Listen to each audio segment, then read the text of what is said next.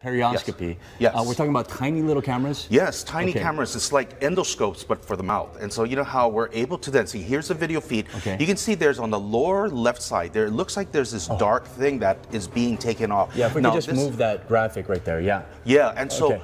you know the, the that that instrument is actually cleaning that off and taking it off. Now, this was a piece of tartar that was stuck very deep down in the gums and.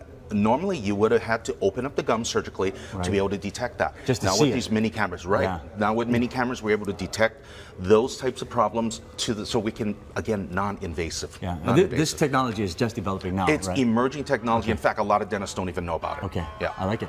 Yeah. Unlike my last visit to my dentist, that was painless. Thank you, Dr. Okuda. Good to see you Appreciate it. again, All right. Good to see All you right. too.